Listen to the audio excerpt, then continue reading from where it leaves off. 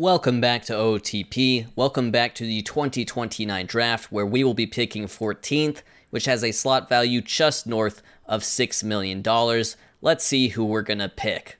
Here's how the draft has looked so far. A lot of Joe, Josh, Joey, and Mike uh, so far in this draft, with one Genjo, Uh, but Joe Hayes, a shortstop out of the University of West Florida, was your number one overall pick for the Kansas City Royals, nicknamed Lobster.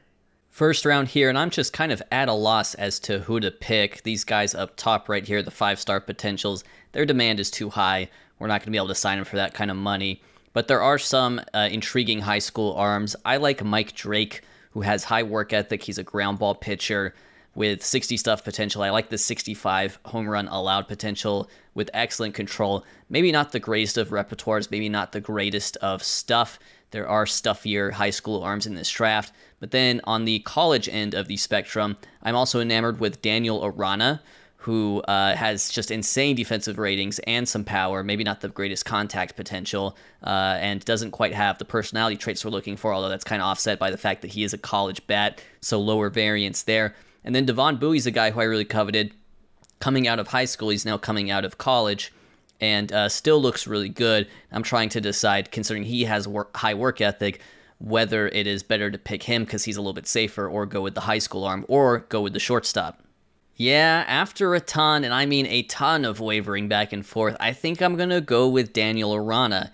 He doesn't have that high work ethic or high intelligence that I'm normally looking for, especially in the first round but you just don't see this combination of infield ratings and potential power and eye. You just don't see it that often. I think it's really special. I like that he bats lefty. I'm excited for him. I like that he, you know, is already a, a one and a half star. He could be, you know, playable in maybe double A right away. I'm gonna go with Daniel Arana here. It just feels like the right pick. I like that his demand is also five million, which is a little bit below slot.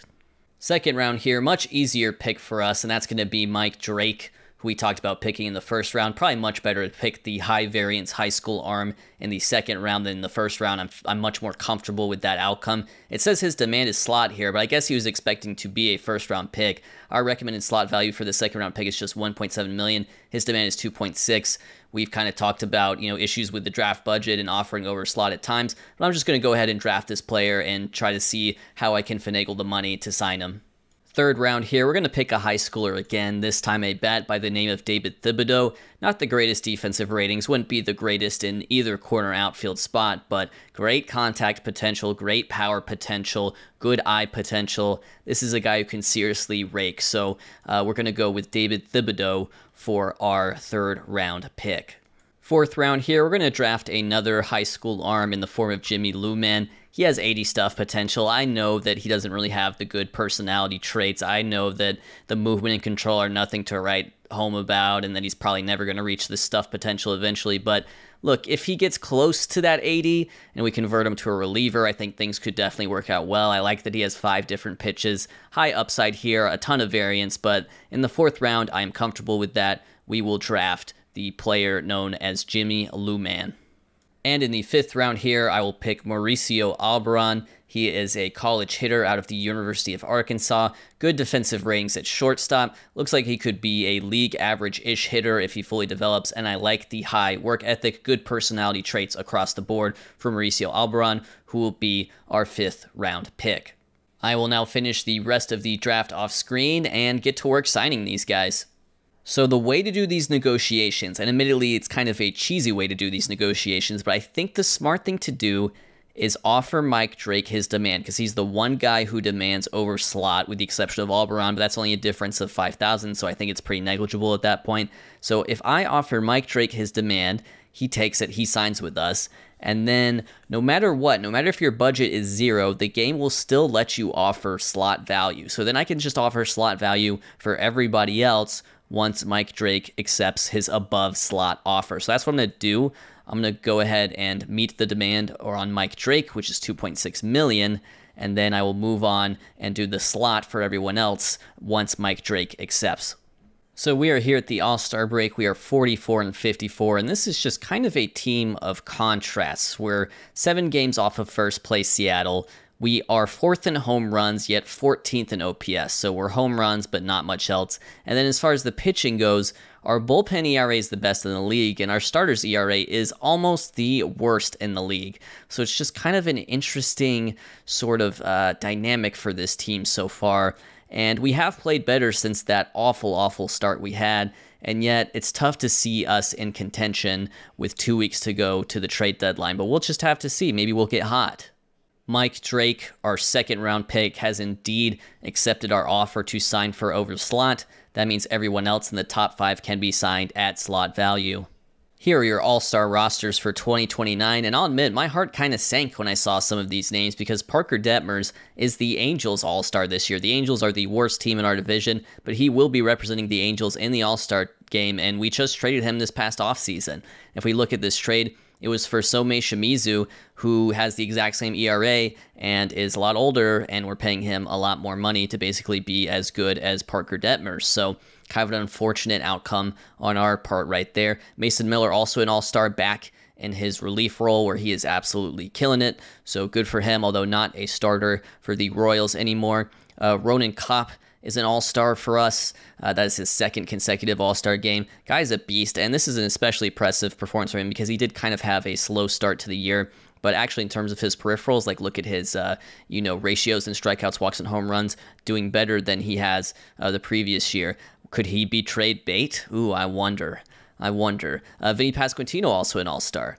Uh, I like to see that as well. Vinny Pasquantino, this has definitely been his best year for us. Our trusty leadoff hitter doing big things for us as well. It looks like in the American League, the top players overall are Wyatt Langford, who's having another monster year, as well as Jackson Holliday, who's pacing for almost a 10 war season. I guess those two would be considered the front runners for the MVP award. In the National League, here are your uh, all stars. It appears uh, the top guys include Jackson Chourio, although it does say he's injured.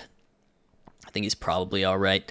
Uh, Michael Harris having a monster year as well. You'll recall that Chourio is the uh, reigning MVP.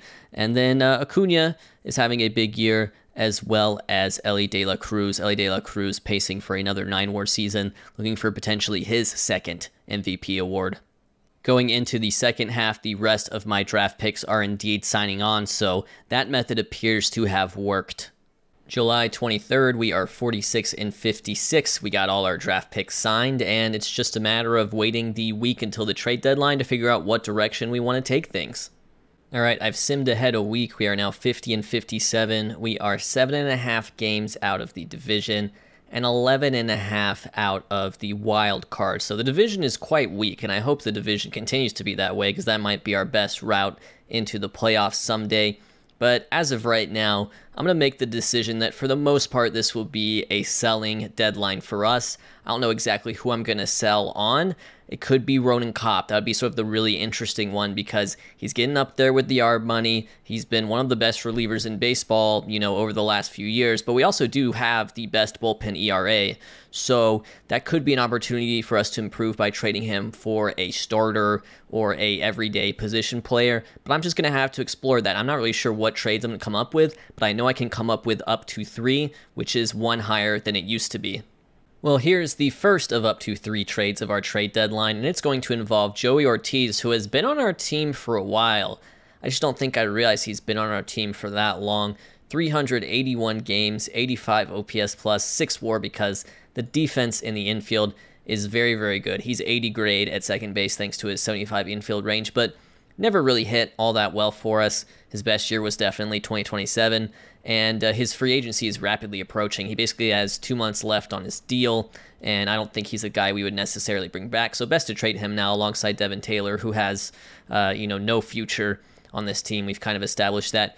In return, we will get Jacob Reimer, who I'm excited about Jacob Reimer. Jacob Reimer with that 70i, he's already been a two-war player for Philadelphia this year, so he's already proven he can perform at the big league level. He can play anywhere, basically. If you look at his ratings, he, you wouldn't play him at center field or shortstop, but basically anywhere else, I think he'd be fine. So that's kind of exciting as well. He expects to be in the starting lineup. I think we'll find creative ways to make that happen. And uh, again, this is a guy who's already proven he can perform, and he only has two plus years of service time. You know, he hasn't hit his ARB yet, so uh, you know this is a guy who has more years than Joey Ortiz. We will also get Jesus Miranda. a Dominican pitcher with high work ethic and uh, some decent potential ratings across the board. Maybe not the greatest uh, repertoire we've seen, but the the 65 up to 65 home runs allowed. That's exciting, and I like that he's only just 16 years old. He was born in 2013 in this universe. Uh, I also like that he is already pitching in rookie ball and somehow not absolutely terrible, like not a miserable pitcher. So that's pretty impressive at age 16. Uh, so I'm happy to make this trade. Uh, we will be saying goodbye to Joey Ortiz and Devin Taylor, but we will be moving on with our future. And a big goal of this deadline is the budget space right here. As you can see, we are very much in the red, and we're trying to get ourselves in a better position going into the offseason. So let's go ahead and make this trade. The second trade we're going to make is the end of an era the JP Sears era. He's been with us all throughout this save. He's the last remaining OG Oakland A in terms of players who were in the majors before we took over. And here are his final stats with us over 200 starts made as an Oakland A. You'll recall we gave him the extension. He was the first player we really gave a multi year extension to in the first place, and that has run out. That will run out at the end of this season. He's now 33. He's probably not coming back, and truth be told, 2026 was the last particularly good year, but it is a bummer we are now, you know, about five and a half seasons into this save, and uh, only now are we going to have a team that is fully ours, not not just players we've inherited, if that makes sense. We do still have guys who were part of the organization. One of those is Denzel Clark, who will also be trading, but even Brady Basso is in AAA right now and is still, you know, considered to be in the fold uh, one way or another. Uh, Denzel Clark uh, has also been basically with us from the start. He made his debut in 2024. He's been a 10 war player, a lot of that coming from his defensive base running. This year, though, replacement level, and that's no good because he's gotten up there in the ARB years, six and a half million this year, probably seven or eight million next year. We just can't afford to pay that much money for uh, you know replacement level, and we will be retaining uh, some of JP Sears, but that's only for the rest of the year. So this is basically not five million being retained. I would say this is more like probably two million being retained, one and a half million being retained, uh, but it's just to get Colorado to agree with us on this deal. So Colorado is going to be our trade partner. We're going to get Landon Knack, who's been kind of consistently a two-war pitcher for them. He's going to take over Sears' spot in the rotation. I don't think he's amazing or anything. He, he himself is 32 years old, but we at least get a player with a little more team control than Sears. And uh, Jake Cadena is an interesting prospect to me. I like the 60 outfield range. I think he'd be a great left fielder in particular.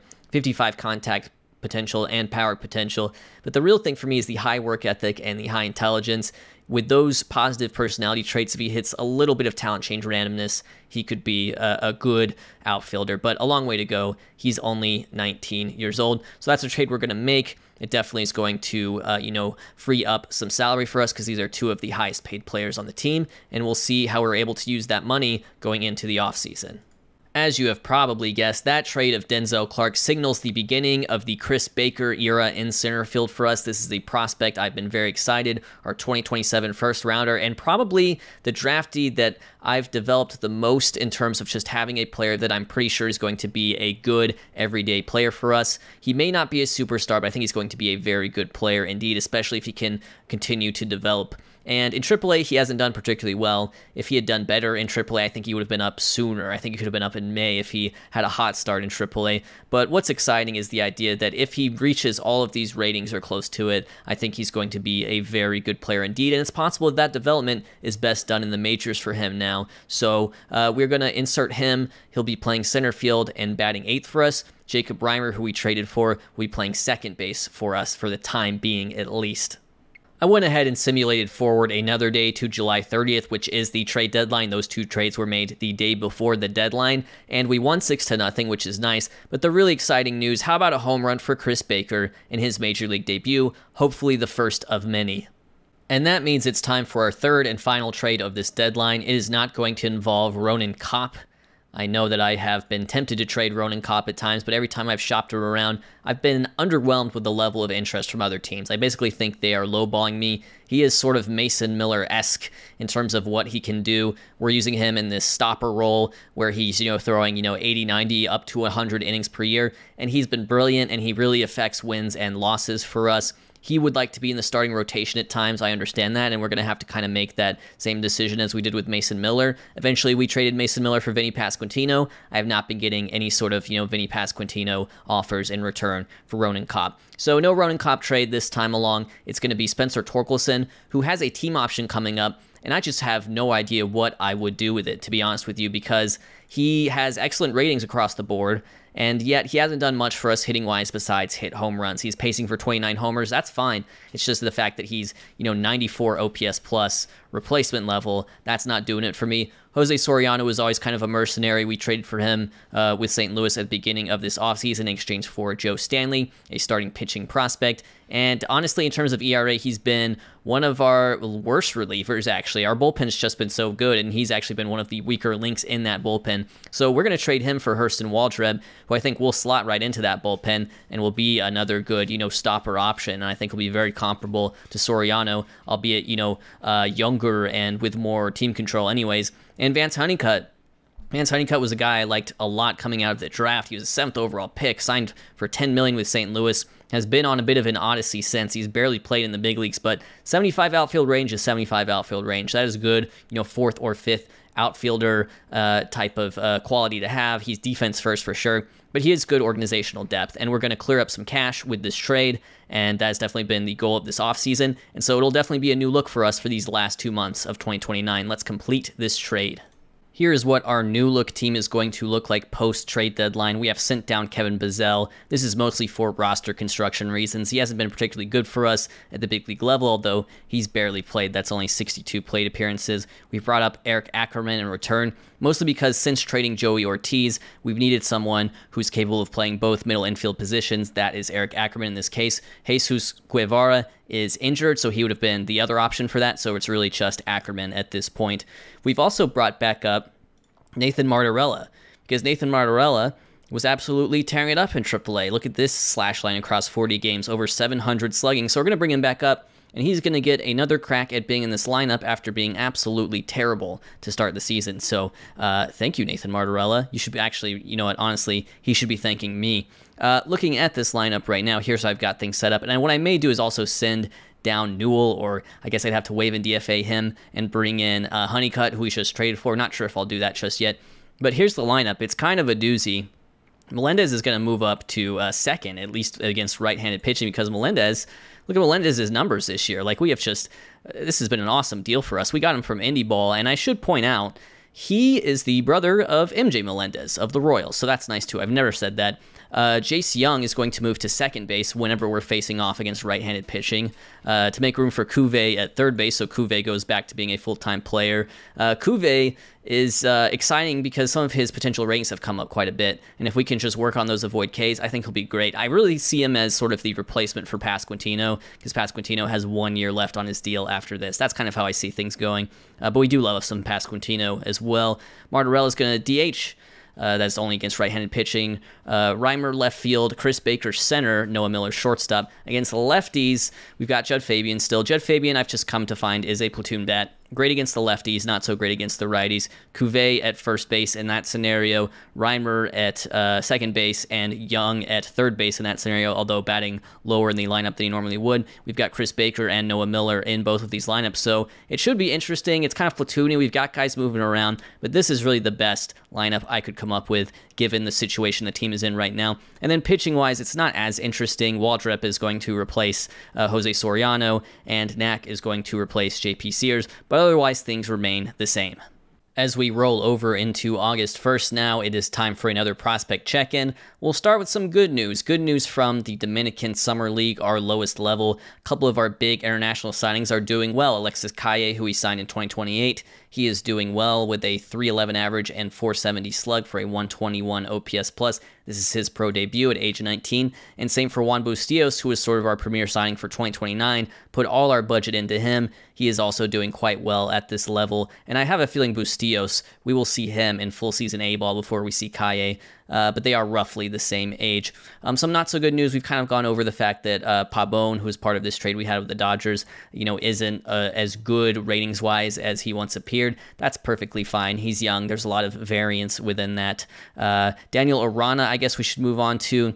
He's in high A 2029 first rounder. Only played eight games, but he has made his pro debut, so that is nice to see. We're excited about him. Uh, hopefully, he can be up for us in the major sooner rather than later, honestly. Chris Greer was also our 2026 first rounder, and uh, he has tried to make that transition from A to high A and has not gone so well. You, you can see he played with us uh, in A at the start of the year that move to high A has not done well. So he'll finish it. He'll finish at uh, high A, but you know, not maybe not the best looking draft pick for me. You know, a few years later. Speaking of first round draft picks, there's also Kevin Skeet in high A, 2028 first round draft pick. Another guy whose ranks have come down uh, since we drafted him. His performance in high A has been fine. His performance as a pro honestly has been fine, but looking more like you know back end or middle of the rotation starter. We hoped we were getting a frontline starter. That's not looking like the case. Um, some more bad news just in the form of injuries. We have a fractured wrist on Mauricio Albaran. He was our fifth rounder this year. And Jesus Guevara who I thought maybe would be in the big leagues by now, fractured ulna in his arm. That's why Ackerman is up. There is simply no competition in terms of getting a guy to play middle infield. Sergio Trevizo, uh, to go back to A ball, is someone who I'm excited about because he was doing quite well in the complex league, and that was his pro debut this year. We drafted him last year in the second round, and we've moved him up into full season A ball, and that's where he'll finish out the year. But look at these ratings. This like looks like it could be a very nice player, like the high work ethic as well. So I'm excited about Sergio Trevizo. That's a guy who I have kind of more on my radar now than I did a few months ago. Connor Griffin's in AAA, not exactly killing it. He'll finish in AAA. Chris Baker's, of course, in the majors. I guess the last guy to talk about would be Steve Young, who has moved up to AAA. He was doing very well in AA in 2029. Steve Young is our 2027 fifth rounder.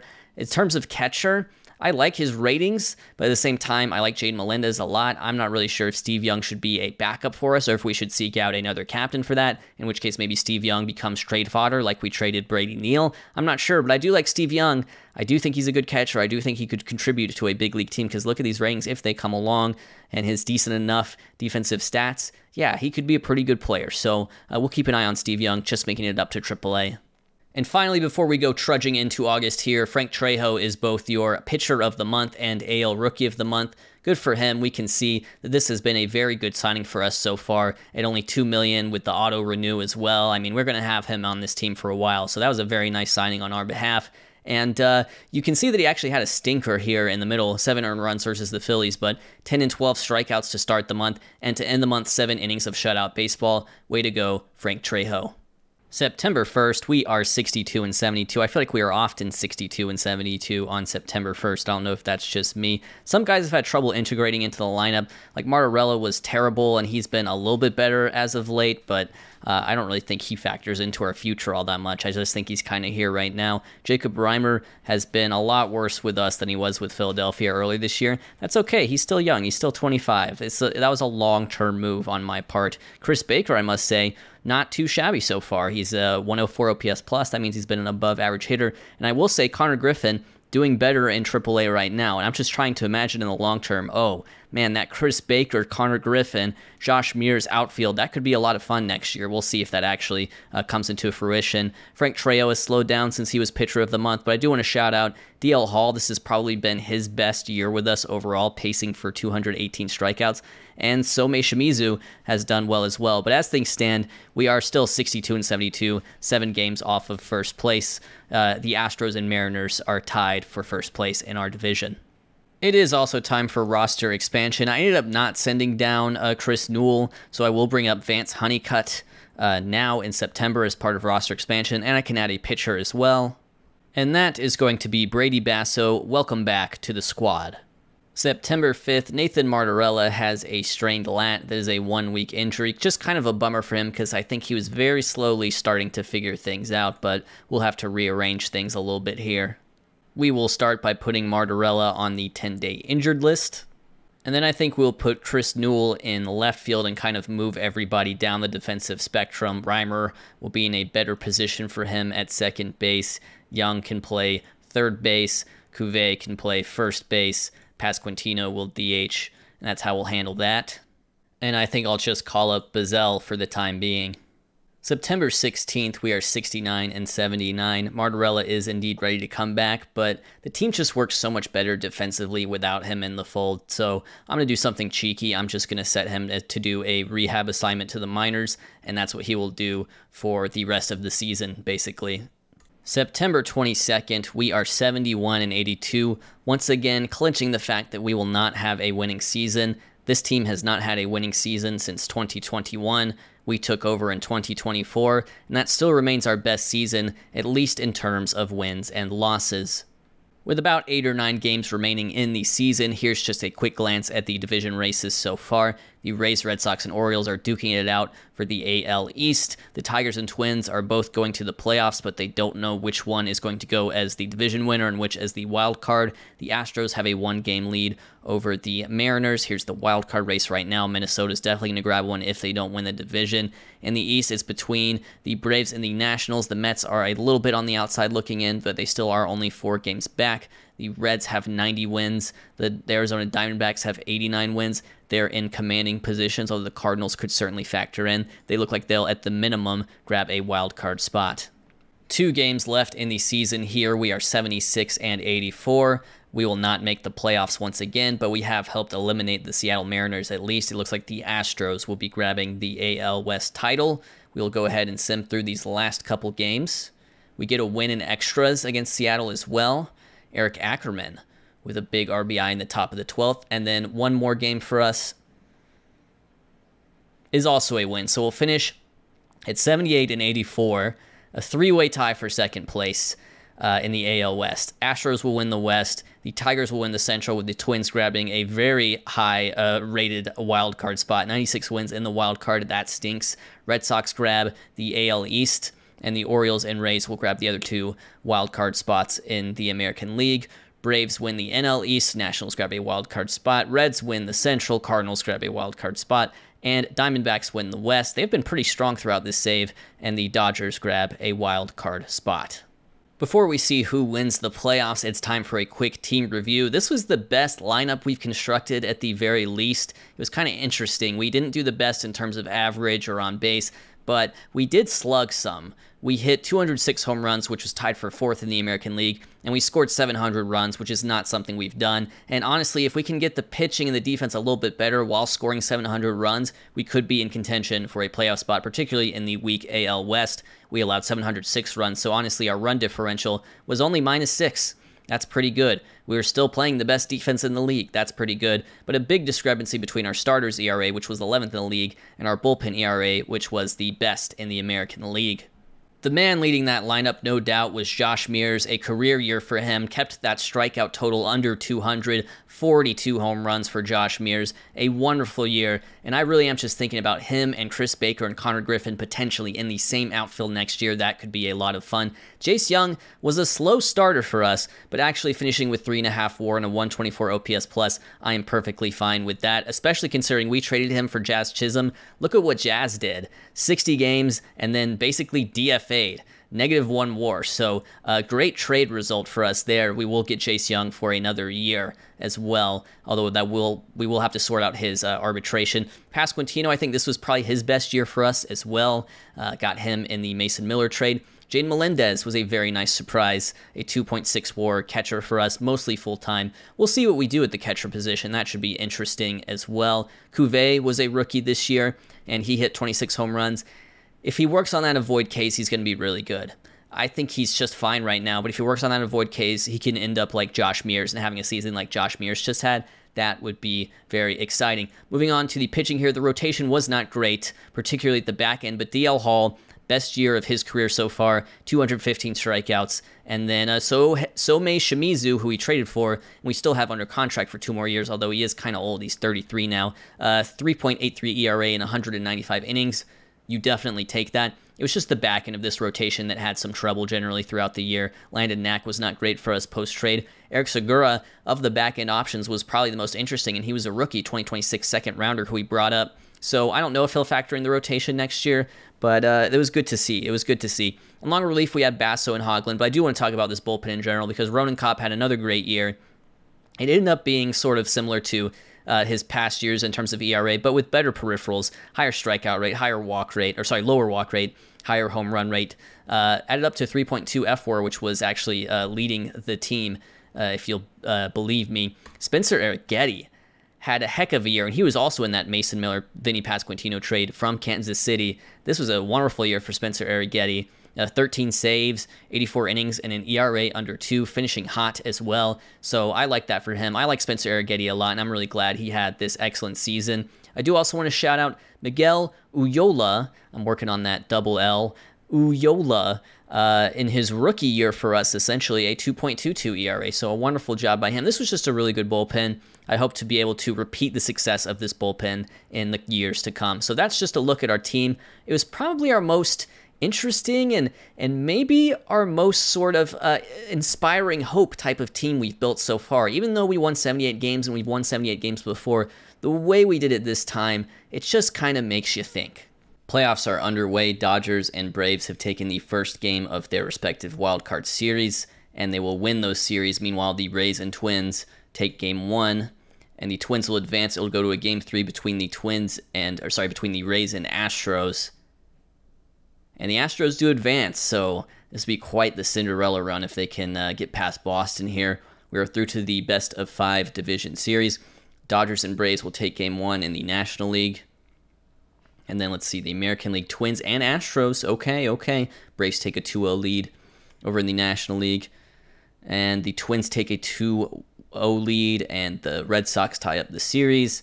Moving along here, we've got the Braves advancing. We've got a game five here between the Diamondbacks and the Dodgers, division rivals. We've got the Red Sox and Twins with the advantage, 2 to 1.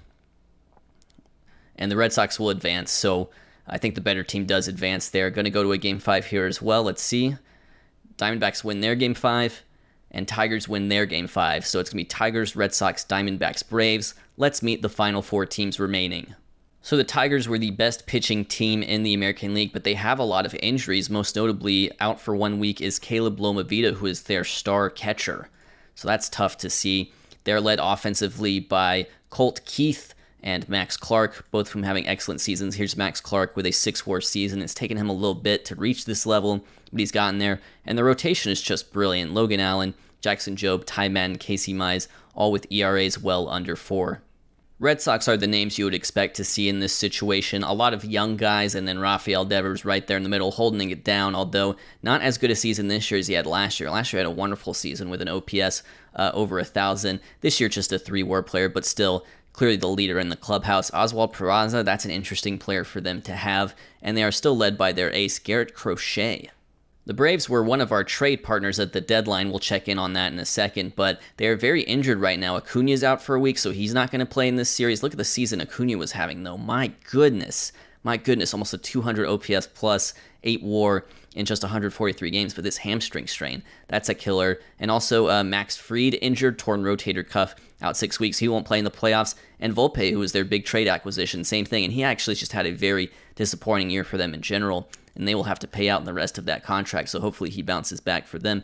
Otherwise, it's the Braves team you would expect. It's actually not that dissimilar from the Braves team you see now. There's Olson, there's Riley, there's Harris, there's Albies. They do have Torkelson, who we traded to them, but uh, Torkelson not doing so good. So uh, I'm not minding that trade so far. And the rotation is interesting. They have, you know, Joe Ryan, but Joe Ryan has an ERA well over five this year, and is, in fact generally had an ERA over five. So uh, it's interesting to see. It's a, it's a strong lineup for sure, even without Acuna. But the pitching without Fried, that's a tough, tough look. And injuries continue to be the trend because the Diamondbacks are going to have to go the next five days without Jordan Lawlar. Maybe he can return in the middle of this series. We'll just have to see. Corbin Carroll looks great, a 3 4 5 slash. 4.8 war for him on the season. Gabby Moreno is here. He really hits for average like crazy. Look at this. I mean, is this like three consecutive batting titles for him? Unbelievable. Druw Jones is here as well. Good year for Druw Jones, three war. Keep in mind, just the defense is absolutely insane. And they have this guy, Jose Caballero, who's not the Jose Caballero you're probably thinking of, the one that is currently on the Rays, but this guy has a 95 eye on the 20 to 80 scale and not much else. But uh, that leads to some pretty interesting slash lines. What a weird little player they have. Yu-Min Lin has been a Cy Young winner in this save. He's had a good year for them. They also have Montgomery. They have Luis Castillo, Joe Musgrove. This is a pretty good team overall, but having to do it without Jordan Lawlar is tough. Alrighty, who's going to win? Diamondbacks take game one. Braves tie up the series. Red Sox take game one. Red Sox take game two. We got 2 1 over here and 2 0 over here. Ooh, the Diamondbacks take a 3 1 lead. Meanwhile, Detroit, they add their first win of this series. 2 2 over here, and the Diamondbacks will advance, so it's just down to the American League teams. Red Sox take game five.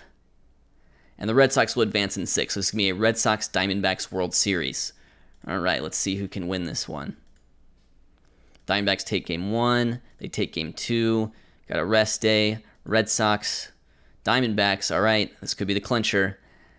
Diamondbacks in five. Snakes alive. Congratulations to the Arizona Diamondbacks. This is, I believe, their second title. Oh no, actually their first title uh, so far in this save. So good for them. Snakes alive indeed.